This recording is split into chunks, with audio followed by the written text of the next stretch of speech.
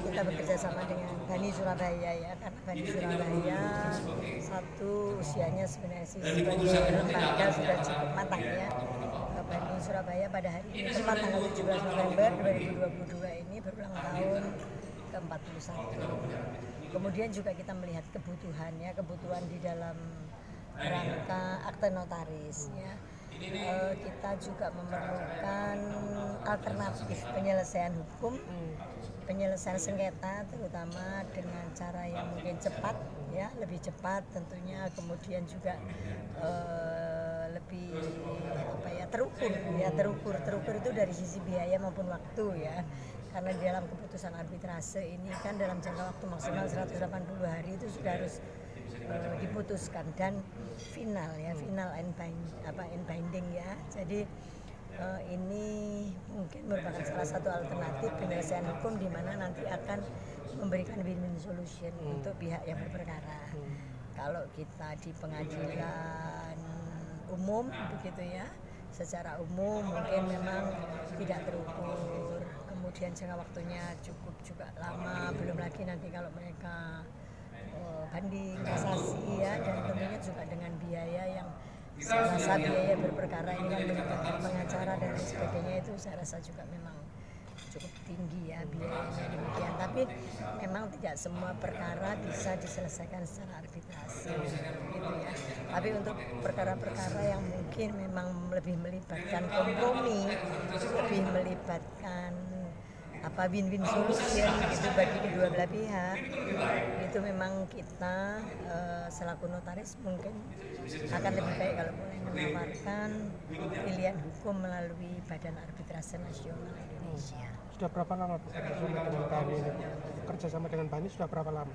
Oh, enggak, kita memang tidak ada suatu kerjasama ya dalam artian MOU begitu tidak ya. Oh. Tetapi karena ini kan kami lembaga yang sama-sama mandiri untuk bekerja sama juga memang kita tidak ada karena kita tidak ada saling mendukung ya dalam arti hmm. memang tidak ada saling ya istilahnya uh, apa ya seminar ini yang kita lakukan secara bersama-sama periodik dan juga mungkin in case gitu ya in case in case tertentu gitu. Beda dengan kalau prodi kenotariatan itu ada kebutuhan-kebutuhan di mana memang prodi itu membutuhkan notaris sebagai tenaga pengajar dan lain sebagainya.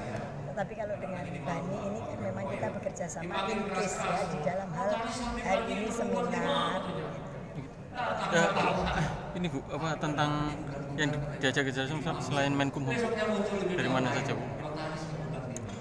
Uh, kalau kita kerjasama itu sebenarnya dengan lembaga-lembaga lain yang terkait yang mempunyai korelasi ya, mempunyai korelasi terhadap akta-akta notaris ya, ataupun juga tidak hanya terhadap akte tapi juga ilmu kenotariatannya diperlukan untuk memperkaya kasanah pendidikan ya itu bukan saja di prodi kenotariatan tetapi terkadang juga bisa saja di lembaga-lembaga lain yang memang membutuhkan pengetahuan tentang ilmu itu ya. Nah kalau kita sih uh, untuk kerjasama sekarang memang lebih banyak dengan uh, fakultas hukum yang menyelenggarakan prodi kenotariatan ya.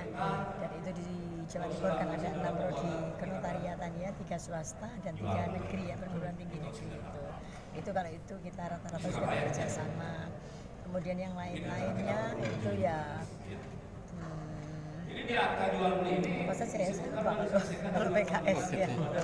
Bu harapannya ke depan hukumnya lebih alternatif kemudian tidak semua diselesaikan melalui pengadilan karena kan di pengadilan nanti menumpuk perkara-perkara. artinya yang perkara mungkin bisa diselesaikan secara kompromi uh, dan juga akan apa bisa mengambil keputusan win-win solusi begitu. Uh, mungkin lebih baik kita arahkan untuk memilih arbitrase sebagai satu apa ya penyelesaian hukum yang lebih real lah untuk kita ambil. Harapan dari Bani sendiri seperti apa bu dengan dari nota notaris mengajak seperti ini? Ya tentunya ini adalah langkah yang positif ya, langkah positif. Artinya acara ini membuat harapan kita simbiosis mutualisme ya. Um, Padi lebih dikenal di masyarakat, notaris juga lebih mengenal fungsi dan tugas arbitrase. Jadi memang ini sangat menguntungkan untuk kedua belah pihak. Saya rasa dan juga tidak hanya kedua belah pihak, tapi pihak ketiga lain membuat akta ataupun yang mereka bersengketa tentunya juga memperoleh manfaat dan keuntungan dari adanya peningkatan ya peningkatan pengetahuan eh, ataupun masyarakat mengetahui tentang arbitrase keberadaan arbitrase ini tentunya juga bisa menguntungkan masyarakat dalam hal ini dunia bisnis dunia bisnis. karena kan arbitrase itu lebih ke lebih ke untuk suatu perjanjian-perjanjian kerjasama kemudian dunia bisnis gitu lebih lebih bagus ini ikuti sama ya jadi pesertanya dari notaris kemudian kalangan pengusaha pengacara perbankan kemudian ada ALB ya ada dosen mahasiswa. eh, dan tentunya ya notaris sendiri ya Ada- rata-rata dari Jawa Timur ada yang ikut kemudian tadi yang luar di- dari Jawa Timur juga banyak. maksudnya ada peserta dari luar Jawa Timur NTB NTT kemudian dari Bali dari Jakarta Tangerang ada dari DIY ada dari Jawa Tengah ada Untuk ke depannya Bu, apakah, apakah, apakah akan ada acara seperti ini untuk Iya, rutinannya? harapan kita sih ya nanti bisa dilaksanakan secara berkala ya. Tapi kan kita ini untuk memperkaya kasana keilmuan kita itu berganti-ganti. Intinya berganti topik, berganti kerjasamanya dengan instansi mana gitu ya. Salah satunya. Tapi insya Allah sih nanti ke depan bisa kita ulang lagi pertemuan semacam ini ya karena sangat bermanfaat untuk kita.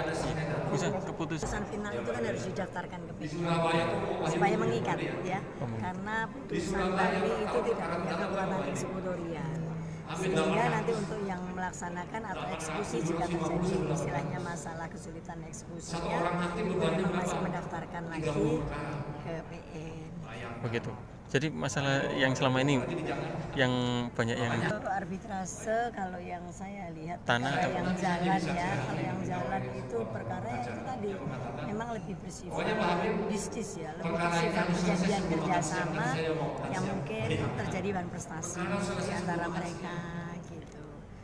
Akte tanah nggak? Nggak nggak? Ya Oh, memang kalau gitu. tanah itu lebih banyak ke pengadilan. Rata-rata berperkara di pengadilan. Banyaknya seperti itu Oke, terima kasih Bu.